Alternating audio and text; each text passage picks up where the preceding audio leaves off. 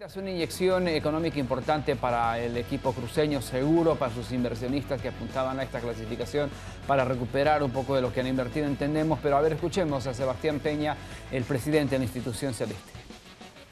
Un triunfo importante, es un triunfo que da obviamente un respiro anímico más que todo al grupo de jugadores y obviamente feliz, contento por el desempeño de, de los jugadores, el rendimiento y toca creer, a veces comenzamos mal, pero la idea es que este grupo de jugadores demuestre para qué está hecho. Así que hoy es disfrutar, que disfrute el hinchada, que disfrute, el luminismo y que ya estamos en Copa Sudamericana. Desde luego, es lo que se ha trabajado más de un año.